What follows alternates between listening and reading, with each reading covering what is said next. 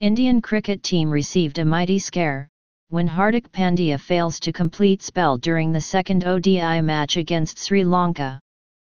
Pandya, who took the wicket of Lankan skipper Upul Tharanga earlier, failed to complete his sixth over.